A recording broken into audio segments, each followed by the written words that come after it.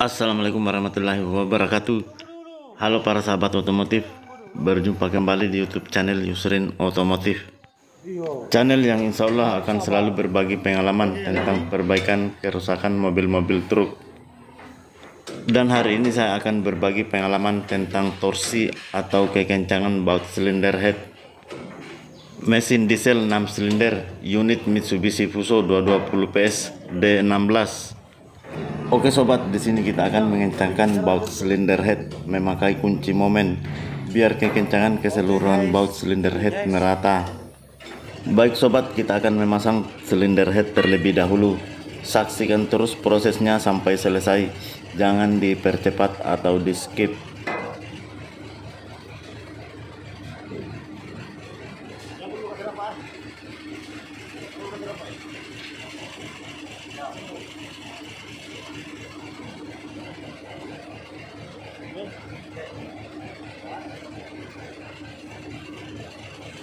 Oke lanjut memasang baut silinder head dan nanti kita akan lanjut mengencangkan baut silinder head memakai kunci momen ya sobat. Dan sebelum kita mengencangkan baut silinder head memakai kunci momen sebaiknya baut silinder headnya dirapatkan terlebih dahulu memakai kunci biasa ya sobat. Atau kita biasa memakai kunci sok. Perlu diingat ya sobat kunci sok dengan ukuran 19 mm atau milimeter Selanjutnya kita memasang rocker arm. Yang perlu diingat sebelum memasang rocker arm kita harus pasang terlebih dahulu topi klep atau kap valve. Ini harus terpasang ya sobatku. Khusus mesin unit Fuso 20 PS D16 itu memakai topi klep. Lanjut lagi memasang push rod. Ini juga harus diingat sebelum memasang rocker arm ya sobat. Jangan sampai push rodnya ketinggalan.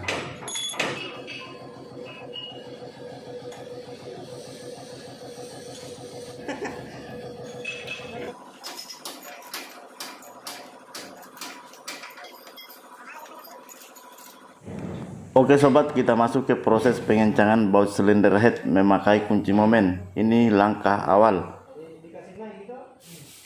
Untuk ukurannya di sini saya memakai satuan kilogram ya. Dan ukuran langkah awal biasa saya kasih 10 kilogram sobat. Dimulai dari baut yang paling tengah lanjut ke arah samping kiri dan kanan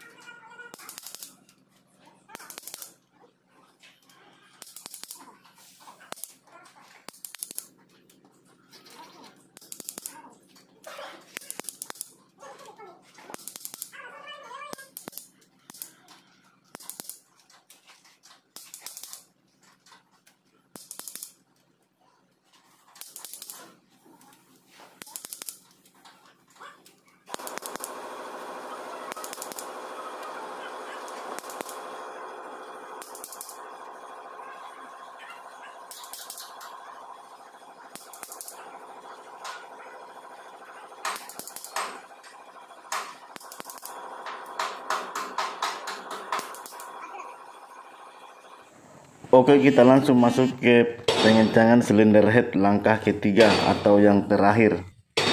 Untuk ukuran langkah terakhir saya kasih 18 kg sampai 20 kg ya. Ukuran ini sudah sering saya gunakan untuk mesin unit Fuso 220 PS D16 ya sobat. Kita mulai dari baut yang paling tengah lagi ya sobat. Seperti langkah awal. Dan saya biasa menandai setiap baut yang sudah dikencangkan biar tidak keliru atau tidak ada baut silinder head yang ketinggalan ya sobat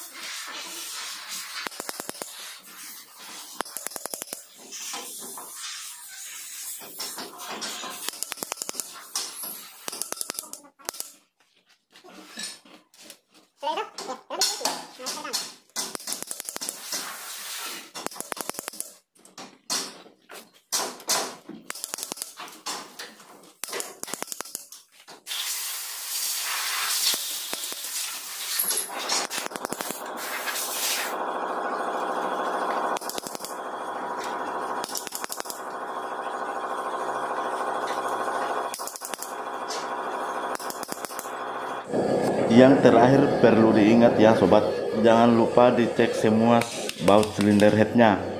Proses ini untuk memastikan saja kalau semua baut silinder headnya sudah dikencangkan dengan ukuran yang sama.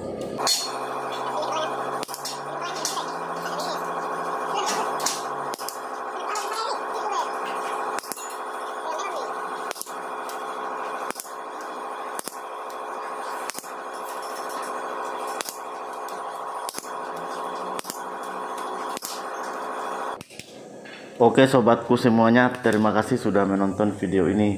Semoga bermanfaat untuk sobatku semua. Jangan lupa dukung channel ini dengan cara di like, subscribe, dan nyalakan lonceng notifikasinya. Jangan lupa juga nonton video-video yang lain di channel ini ya. Sampai jumpa di video berikutnya. Salam otomotif.